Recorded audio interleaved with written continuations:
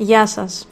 Σήμερα θα φτιάξουμε ένα πανεύκολο καταπληκτικό ψωμί, ειδικά για τους αρχάριους που ξεκινάνε τώρα να δουλεύουν με το προζύμι, γιατί αυτό το ψωμί γίνεται πάντα και η συνταγή δεν ξεχνιέται ποτέ. Το 1, 2, 3 είναι οι ποσότητες. Το 1 είναι προζύμι, το 2 είναι νερό και το 3 είναι το αλεύρι. Οπότε, σε περίπτωση αν θα βάλουμε 200 γραμμάρια προζύμι, θα πάει επί 2 400 γραμμάρια νερό και επί 3 600 γραμμάρια αλεύρι. Έτσι εύκολα είναι. Και το ίδιο μπορούμε να κάνουμε με 300 γραμμάρια προζύμι και κάνουμε επί 3. Οπότε ε, νερό 600, αλεύρι 900. Το αλεύρι μπορείτε να βάλετε οποιοδήποτε. Μπορείτε να το ανακατέψετε όπως κάναμε εμείς και τα τρία μαζί. Και είμαι σίγουρη ότι αυτή η συνταγή δεν θα ξεχαστεί ποτέ.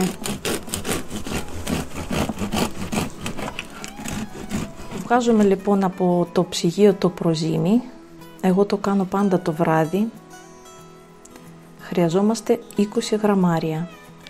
Θα ρίξουμε 90 γραμμάρια νερό και 90 γραμμάρια αλεύρι σίκαλης και θα το ανακατέψουμε. Ετοιμάσαμε μία πάστα. Θα κλείσουμε και θα το βάλουμε σε ένα ζεστό μέρος για 8 ή 10 ώρες, ανάλογα τη θερμοκρασία. Έτοιμο το προζύμι, φούσκωσε αρκετά και θα ξεκινήσουμε τώρα.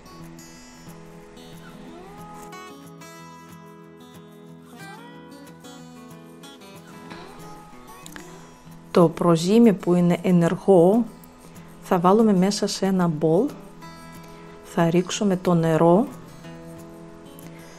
και θα το ανακατέψουμε.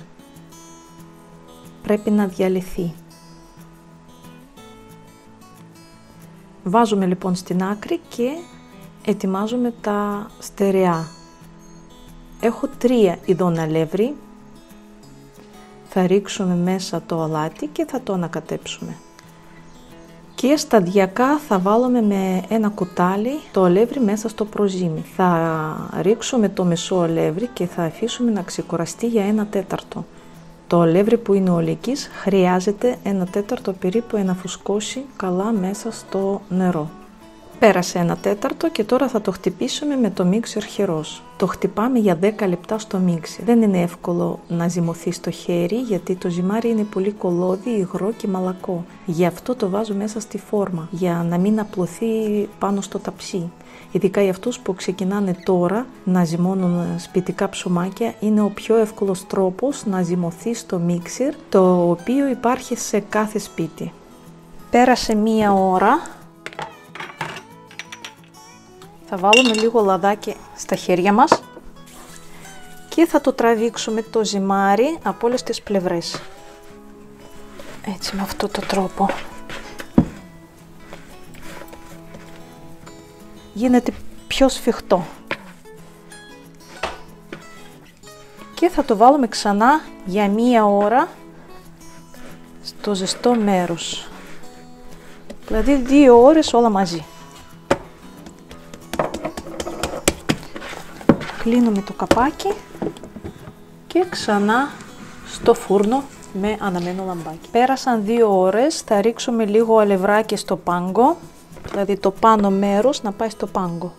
Τώρα το τραβάμε, το τεντώνουμε και στη μέση.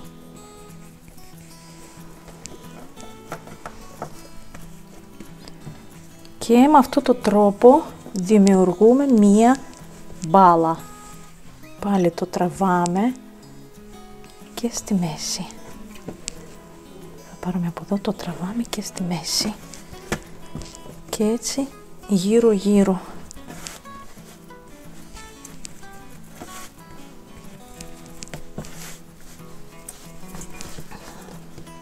Και θα το βάλουμε μέσα στην φόρμα. Στη συνέχεια θα βάλω λίγο λαδάκι σε αυτή τη φόρμα και θα ρίξουμε το ψωμάκι μέσα. Το πατάμε και το αφήνουμε να διπλασιαστεί. Στο φούρνο με αναμένο λαμπάκι χρειάζεται και 2 ώρες. Τώρα άναψα το φούρνο στους 230 βαθμούς. Θα κάνουμε ένα ράγισμα με μία λεπίδα ή με ένα καυτερό μαχαίρι στη μέση έτσι ώστε να μην μας φωσκώσει από τη μία πλευρά μόνο. Και πολύ σημαντικό, το ψωμί θα μπει στο φούρνο μόλις ο φούρνος ζεσταθεί καλά. Μόλις ψηθεί το ψωμί βγάζουμε από την φόρμα για να μην ε, υδρώσει μέσα. Θα ακούσουμε ένα θαμπό ήχο και στη συνέχεια τυλίγουμε σε μία πιτσέτα και αφήνουμε να κρυώσει. Δεν τον κόβουμε ποτέ ζεστό γιατί από μέσα ακόμα ψήνεται. Και μόλις κρυώσει μετά μπορούμε να το κόψουμε και να το απολαύσουμε. Το αφήνουμε πάνω στη φόρμα ή πάνω στη σχάρα. Είναι μεν χλιαρό αλλά μπορούμε να το κόψουμε. Πέρασε μία μισή ώρα. Κοιτάξτε τι ωραίο που είναι. Ψήθηκε τέλεια.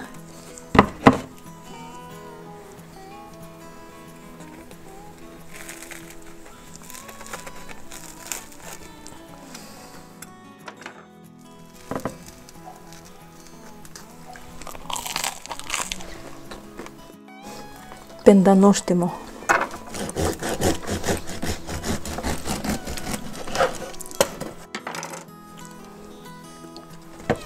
πολύ μαλακό. Πάρα πολύ ωραία γεύση. Τι να σας πω. Είναι τόσο εύκολο που μπορεί να το κάνει ο καθένας. Και πάντα πετυχαίνει. Ελπίζω να σας άρεσε το ψωμάκι μου και ο εύκολος τρόπος προετοιμασίας του. Μην φοβάστε το προζύμι. Ξεκινήστε κι εσείς τώρα. Τίποτα δεν είναι δύσκολο άμα σας εξηγάν καλά. Σε όλα τα βίντεο προσπαθώ να πω κάθε λεπτομέρεια ώστε να μην έχετε δυσκολίες. Το link από τη συνταγή το πώς φτιάχνω το προζύμι θα το βρείτε κάτω στην περιγραφή. Εύχομαι υγεία και υγιεινό τρόπο ζωής. Ευχαριστώ, γεια σας.